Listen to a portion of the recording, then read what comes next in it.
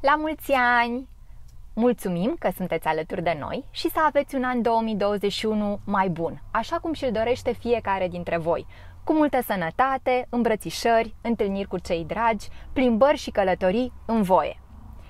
Chiar dacă anul 2020 a fost un an altfel, cu noi a fost destul de blând.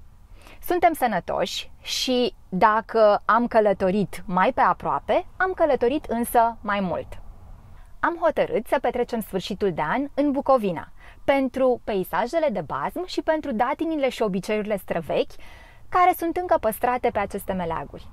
Nu vom merge la mănăstiri, în principal din cauza pandemiei, dar și pentru că ne place să le vedem vara pline de flori. Dar să pornim la drum. Avem mulți kilometri de parcurs și câteva opriri pe traseu.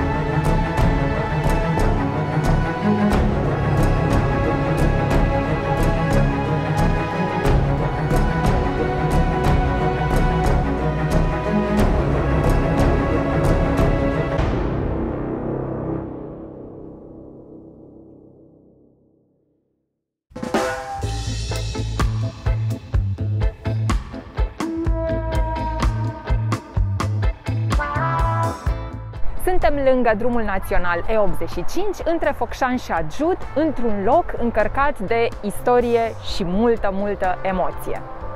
Mausoleul Mărășești este un simbol al eroismului armatei române din timpul primului război mondial și unul dintre cele mai impunătoare monumente comemorative din estul Europei.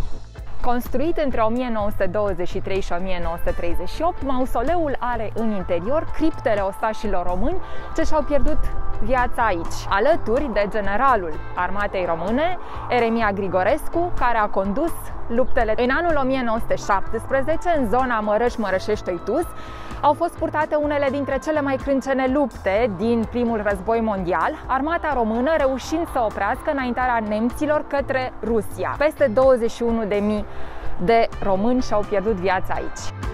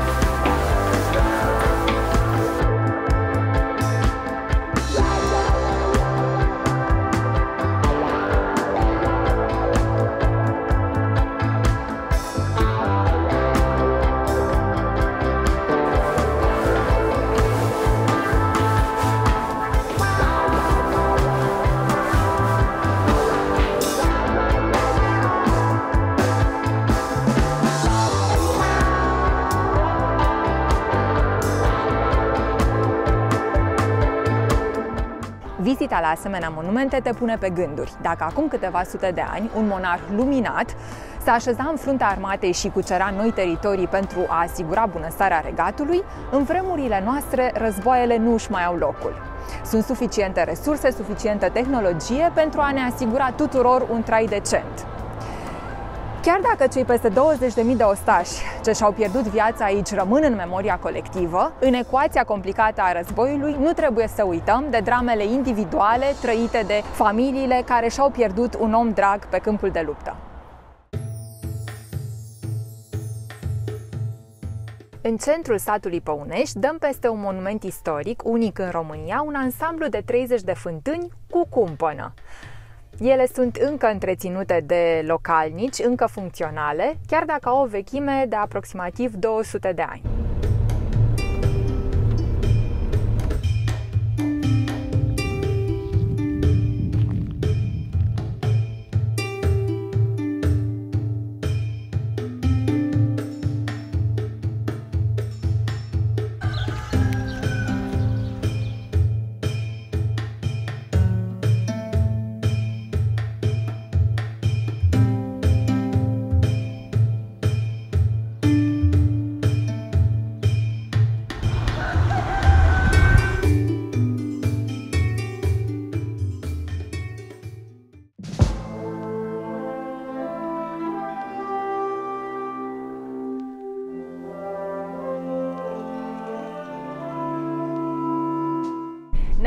De localitatea Rosnov, în centrul căreia vrem să ne oprim pentru a vedea Biserica Ortodoxă Sfântul Nicolae.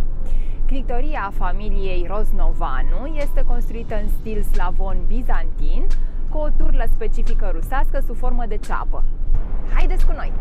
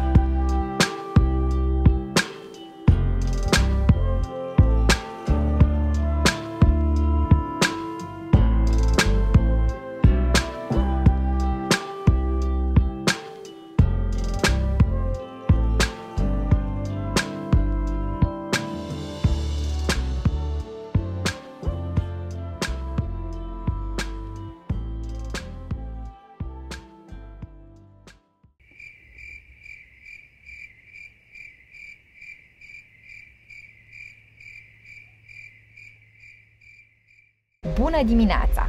Miroase deja Bucovina, iar frumusețea peisajului îți taie respirația.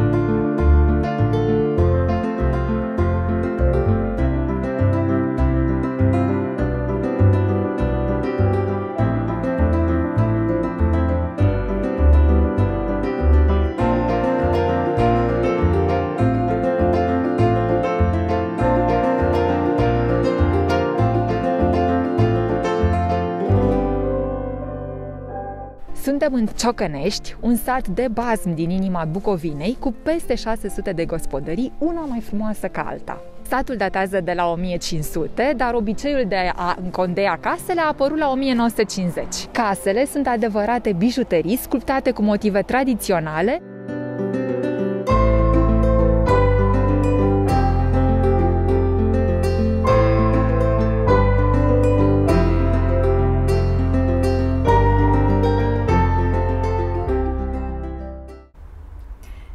purtat și prin Broșteni, orășel acum, unde Nica Petre a luat râie de la caprele Irinucăi.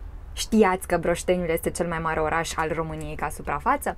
600 de kilometri pătrați, mai mare decât Bucureștiul, Timișoara sau Clujul.